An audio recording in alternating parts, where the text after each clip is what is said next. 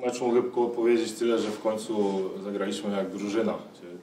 Tego chcemy właśnie, e, to jest najważniejsze. Pokazaliśmy charakter. W sporcie charakter e, czasem jest nawet ponad umiejętnościami.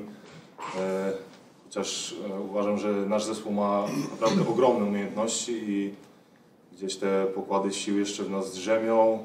Wiemy, co się dzieje, wiemy, jaka jest sytuacja, wiemy, że czeka nas kolejny ciężki okres, marzec i, kolejne miesiące, ale mam nadzieję, że nie pokazaliśmy, nie pokazaliśmy jeszcze tej najlepszej strony e, Puławi. E, Gdzieś te końcówka ligi, Liga Europejska jeszcze, jeszcze naprawdę utrzemy nosa nie jednej drużynie i tym, e, którzy już w nas zwątpili.